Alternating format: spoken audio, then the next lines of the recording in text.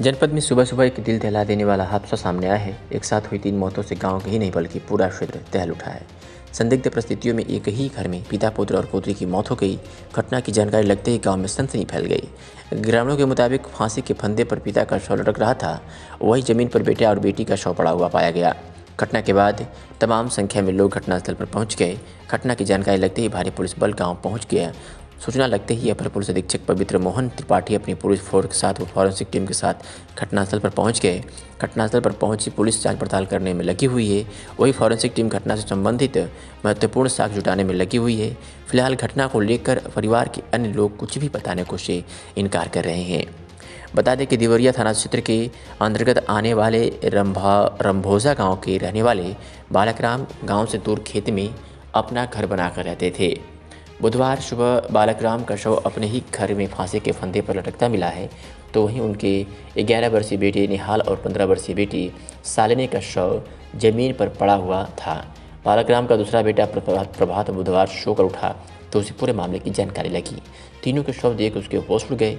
इसके बाद उसने परिवार के अन्य लोगों को पूरे मामले की सूचना दी। घटना की जानकारी लिखने के बाद तमाम संख्या में ग्रामीण घटनास्थल पर पहुँच गए। घटना की जानकारी लगते ही भारी पुलिस को घटनास्थल पर पहुँच गया। उधर सूचना पर अपर पुलिस अधीक्षक पवित्र मोहन त्रिपाठी पुलिस बल व फॉरेंसिक टीम के साथ घटनास्थल पर पहुंचकर जाँच पड़ताल में जुट गए। मतलब यानी कि हुई है। मौतें कैसे कैसे क्या फिर पूरा मामला है जी? देखिए अ, कला के रंबोजा गाँव बालक राम नाम के व्यक्ति की उम्र 45 वर्ष करीब है उनके चार बच्चे हैं। उनमें से रात में बालक राम और उनके जो पुत्री शालिनी और एक निहाल नाम के पुत्र की जो है बॉडी अभी घर पे मिली है। अ, उसको सूचना पुलिस को मिलते तुरंत हम लोग सब पहुँच गए फ़ील्ड यूनिट के साथ। ये पता चल रहा है कि जो बॉडी मिली है बालक राम फांसी में लटकता हुआ मिला है और दो बच्चे उनके शालिनी एवं निहाल जो है तकत पे मृत्यु अवस्था पे मिले हैं।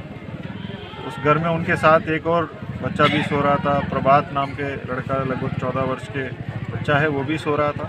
सुबह उठ के जैसे उसने देखा, उनके भाई और उनके बहन जो है तकत पे मृत्यु अवस्था में लेटे हुए हैं और उसने तत्काल घर के अंदर की कुंडी खोल के बाहर निकला और अपने चाचा को इन्फॉर्म किया।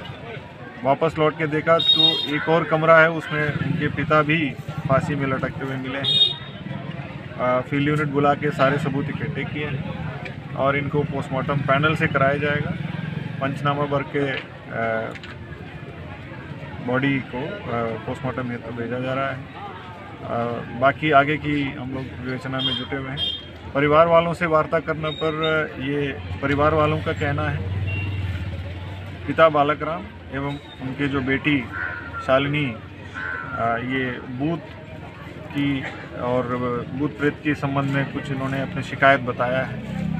एक साल पहले तक किसी आश्रम में जाते थे और ये इनके ऊपर जो है भूत आने का परिवार वालों का कहना है। इस संबंध में भी जाँच किया जा रहा है। पीएम के बाद मृत्यु के कारण पुष्ट हो जाए